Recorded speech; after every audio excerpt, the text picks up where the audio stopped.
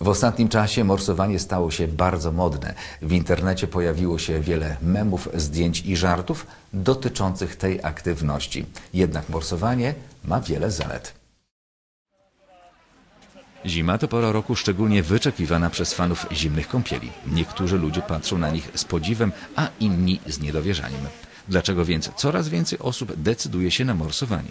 Pomaga mi to w, w, w utrzymaniu y, y, i zdrowia y, takiego y, fizycznego, ale też i pomaga mi psychicznie y, odbudowywać się po, po całym tygodniu pracy.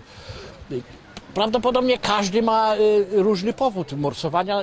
Jeden na pewno jest najważniejszy w celach zdrowotnych. No to i chyba, chyba każdy to powie. W literaturze naukowej udokumentowano przeciwzapalne działanie zimna, które redukuje stan zapalny głównie w schorzeniach narządu ruchu.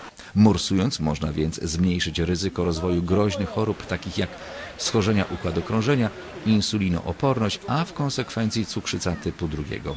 Jak rozpocząć? Przede wszystkim trzeba porozmawiać z ludźmi, którzy już tam dłużej morsują.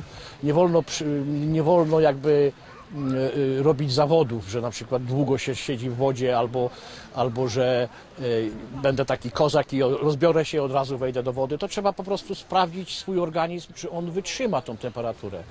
To jest według mnie najważniejsze. Choć nie istnieją jednoznaczne dowody naukowe wskazujące na wpływ morsowania na układ immunologiczny, to wiele osób twierdzi, że od początku przygody z morsowaniem przestało chorować. Taka perspektywa kusi, lecz aby prawidłowo przystąpić do tej aktywności, trzeba się odpowiednio przygotować, by nie robić tego źle. Złe morsowanie to jest takie morsowanie, kiedy robimy to y, y, na czas. Są tacy ludzie, którzy mówią, a ja dzisiaj 12 minut, a ja 15, a ja 18. Y, Wychłodzenie organizmu nie czuć. Y, I taka osoba nawet nie będzie wiedziała, że popada y, powoli w hipotermię.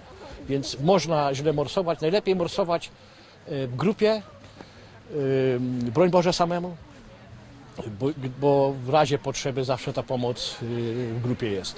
W niedzielę 24 stycznia Szczecińsko-Policki Klub Morsy imienia Zbyszka Ulatowskiego zorganizował charytatywne morsowanie dla Ingi Niedźwieckiej. Na miejscu zbiórki wszystkie chętne osoby mogły wpłacić symboliczne 10 zł, a potem wspólnie zanurzyć się w zimnej wodzie. Kolejne charytatywne morsowanie odbędzie się w niedzielę 31 stycznia o godzinie 14 na Jeziorze Głębokie.